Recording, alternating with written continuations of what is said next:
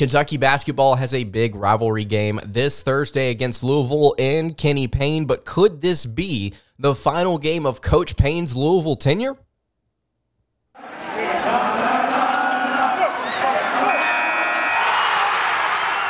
You are Locked On Kentucky, your daily podcast on the Kentucky Wildcats, part of the Locked On Podcast Network, your team every day. All right, what's going on, Big Blue Nation? Welcome on into Locked On Kentucky, your daily Kentucky Wildcats podcast. I'm your host, Lance Dawe, writer for Sports Illustrated for various SEC related things. But on this podcast, we take a dive into all things Kentucky athletics. Today's episode is brought to you by PrizePicks. You can go to prizepicks.com slash locked on and use code locked on for a first deposit match up to $100. PrizePicks daily fantasy sports made easy. On today's episode of Locked On Kentucky, we are going to be having the conversation about Kenny Payne and the Louisville Cardinals right now not doing so well could very well be the final game of Kenny Payne's Louisville career. Going to talk about that as well as give you an update on the KenPom ratings and the net ratings because we did not get a chance to do that in our previous episode. So thank you so much for making Locked On Kentucky your first listen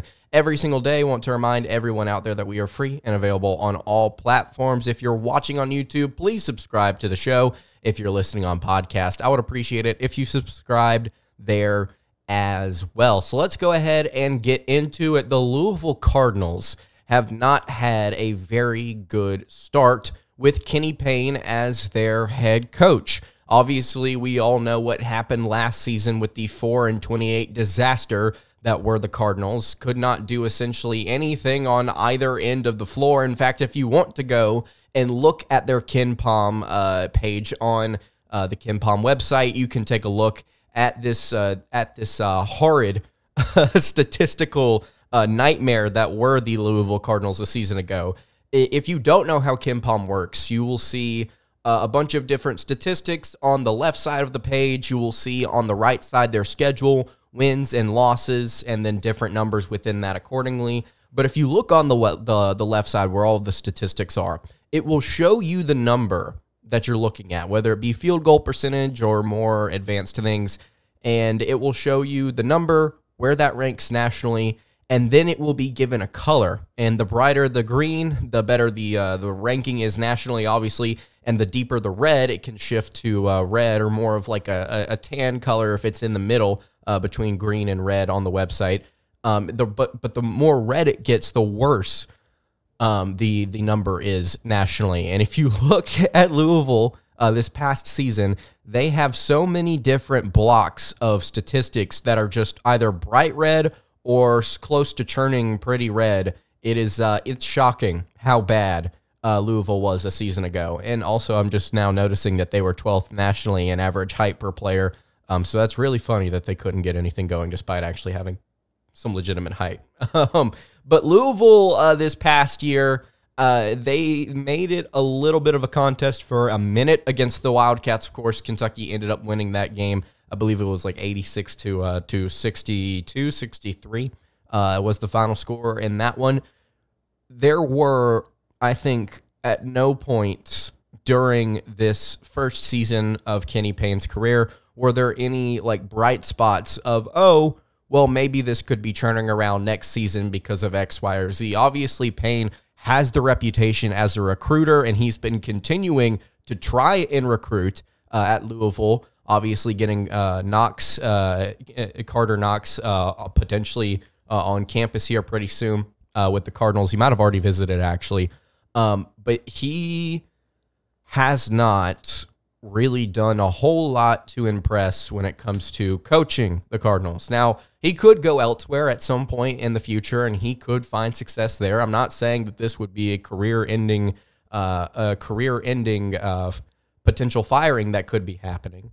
But if you go and look online, this isn't just something that people are speculating over of, okay, when is Kenny Payne going to finally get the boot? Four, uh, four and 28 last year. Started the season five and six. They already have more wins than they did a season ago, but they have a pretty confusing, uh, a couple of pretty confusing losses on the schedule to DePaul, on the road, Arkansas State, and then early in the year they lost to Chattanooga. Only beat UMBC, who is ranked 328th in the KenPom ratings.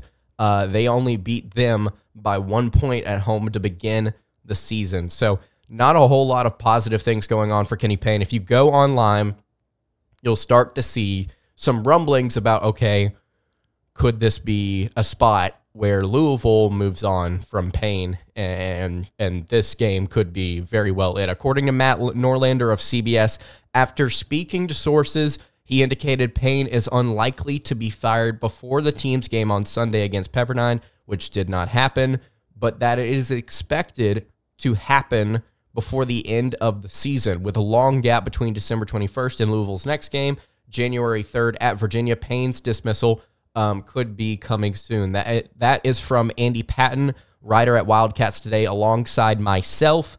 Uh, if you go and look, you can see on Cardinal Authority, uh, which is a 24 7 uh, sports website for Louisville, you can see this breakdown that Matt Norlander has about Kenny Payne potentially being let go between these two games if uh, if he does end up losing to Kentucky.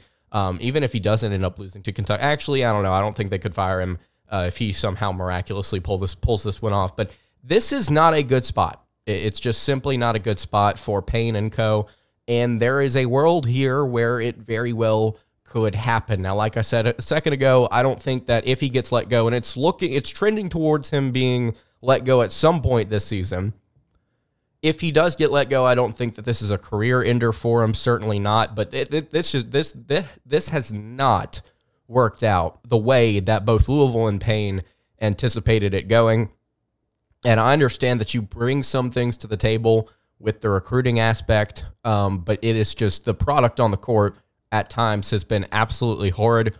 And something that I will say about this team, the way that they operate this season, you cannot sustain offense going to the foul line and making that what you are, especially if you're as bad as a team as Louisville is. Now, teams like North Carolina, they can get away with it because they have some legitimate talent that can actually score in a variety of ways. Louisville, the way that they've relied on the uh, on the foul line so far this year, I don't think that that's sustainable, and I, I just don't know if they'll be able to pick up wins. Therefore, in this ACC schedule, I'm going to pause for water here real quick because my mouth is crazy dry. Um, but yeah, I, I just don't see this working out this year and I think some signs start are starting to point to this being close to the end. And this game against Kentucky, if Kentucky wins, and they will be favored, and the analytics sites will predict them to win, um, it, it, could very well be the end of uh, of Payne's career. So uh, with the Cardinals, I should say. So if you've got any thoughts on that, if you've got any thoughts on this matchup this weekend, uh, or excuse me, not this weekend, this Thursday between the Cardinals and the Wildcats, you can leave that in the YouTube comments below. Obviously, going to have a preview and a recap episode uh, about that. So stay tuned here on Locked On Kentucky for those episodes. I want to take a look at the net rankings uh, and then the KenPom rankings or ratings, I should say. Both of them are technically ratings, not rankings. I want to kind of look at those, kind of give you an idea of where the Wildcats are because they improved after that win against North Carolina. Maybe not as much as we would have expected. Before I get into that, though, I want to tell you guys about our friends over at eBay Motors. Passion drive, and patience. It's what brings home the winning trophy, and it's also what keeps your ride or die alive. And eBay Motors has everything you need to maintain your vehicle and level it up to peak performance from superchargers, roof racks, exhaust kits, LED headlights, and more. Whether you're into speed, power, or style, eBay Motors has got you covered. And with over 122 million parts for your number one ride or die, you will always find exactly what you're looking for. And with eBay Guaranteed Fit, your part is guaranteed to fit your ride every single time or your money back. Because with eBay Motors, you are not burning rubber, or you are burning rubber, not cash. With all the parts you need at the prices you want, it's easy to turn your car into the MVP and bring home that win. You can keep your ride or die alive at eBay Motors eBay.com. Eligible items only, exclusions apply. eBay guaranteed fit only available to U.S. customers. All right, continuing along here on the Monday edition of Locked On Kentucky. Lance Dawe hanging out here with you. Want to remind you guys if you have not subscribed to the show already, I would really appreciate it if you went ahead and did that, whether that is on podcast or on the YouTube feed.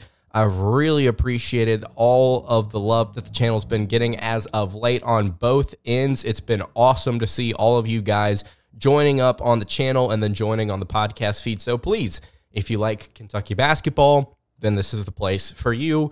Would really appreciate it if you would hop on the bandwagon and I say bandwagon here, I don't mean like the actual bandwagon of the fan base. Of course, we're all uh, pulling for the Wildcats here, but the bandwagon of the show. So, something that I don't know if you guys are as excited as I am about, uh, I want to dive into today, and I want to try and, and, and, and talk you into why you should be as excited uh, about these numbers as I am, if you are not already, which I, I think that you will be after we talk about these two different things. I want to start here with the more important one the net ratings. We talked about this on a recent episode, and I will briefly recap what these net rating, ratings are. In case you don't know, and you've heard this, me say this twice recently, the net ra- ratings are a computer model that helps the NCAA tournament committee decide how to seed everything whenever March finally does get here, whenever Selection Sunday finally does get here. It is a tool. It is not the end all be all or be all end all or however you say that. But the way the net rankings work is, or ratings, is they rank all of these different teams in college basketball. There are 363 of them. And they divide them up into quadrants quad one, quad two, quad three, and quad four.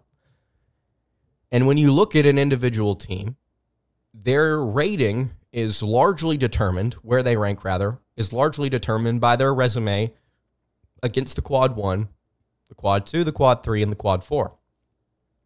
And you may say, well, how are the quadrants determined?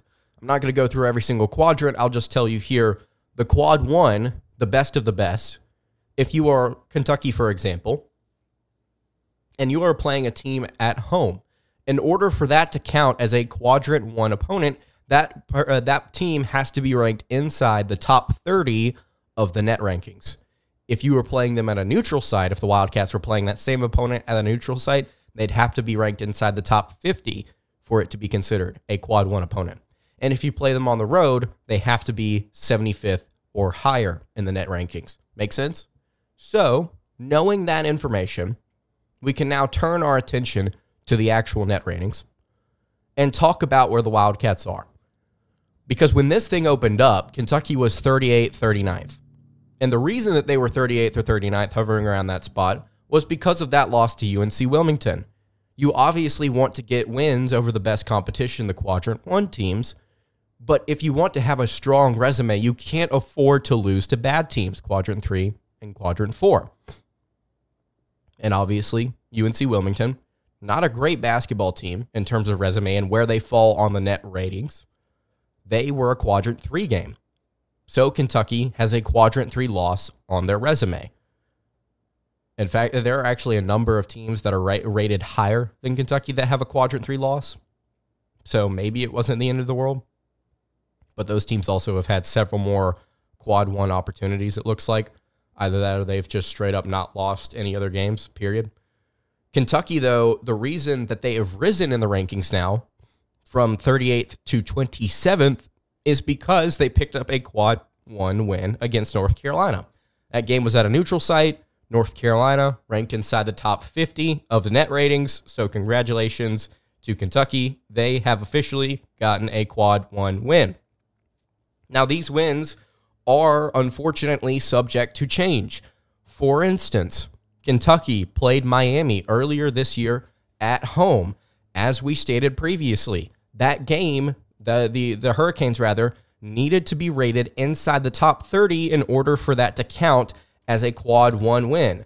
As of right now, Miami is 63rd in the net rate or ratings. So uh, unless they do some major rising here over the course of the season, Miami's going to be a quad two win, or excuse me, they're they're going to be a uh, yeah, it, it, it would technically be a quad two win, uh, I believe there. So it's uh it, it's a weird system that does provide opportunity to showcase how good you are against your schedule And it shows how good your schedule was as well by dividing all of your different opponents into these quadrants. And you want to collect as many quad one opportunities as possible. So I want to run through what I ran through on yesterday's episode briefly about the opportunities that Kentucky has to get these quad one games. Pausing for water. Again, just a really, really dry mouth today uh, doing the show. But the Wildcats, as it stands right now, have two force. They have eight quad one opportunities. Let's walk through them real quick. On the road at Florida to open SEC play. At Texas A&M, uh, the third game of the SEC schedule. At home against South Carolina, believe it or not, is currently a quad one game. At home against Tennessee is a quad one game. On the road at Auburn, at home against Alabama, on the road at Mississippi State, and at Tennessee are also quad one opponents. Right now, in case you are wondering, Mississippi State is currently ranked 41st, so they are not a quad one opportunity at home, but they are on the road. And then Gonzaga is currently rated number 39. And that, therefore, would mean that game is a quad two uh, potential victory for the Wildcats. Uh, the Bulldogs would need to be inside the top 30 again there. So Kentucky's got eight different opportunities right now on their schedule. Could grow, could shrink to get some resume defining wins.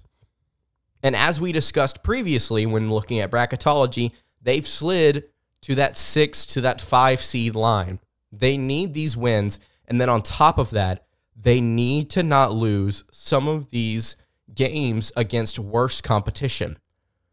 If anything, Kentucky has to, if they take a loss, has to take a loss to one of these eight teams. Or technically, I get, no, no, it would be these eight teams. They have to be careful with their schedule and how they play against some of these teams on the road. I'm really, really curious to see how Kentucky operates in spots like on the road at Vanderbilt, um, on the road at Mississippi State, even though that is a quad op, uh, quad one opportunity. How does that shake out? How do they play on the road at LSU? Will also be an interesting one.